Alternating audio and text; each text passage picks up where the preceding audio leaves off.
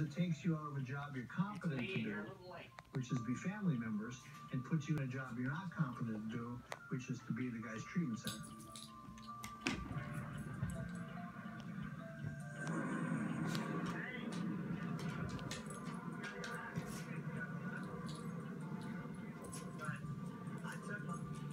I took my dope and I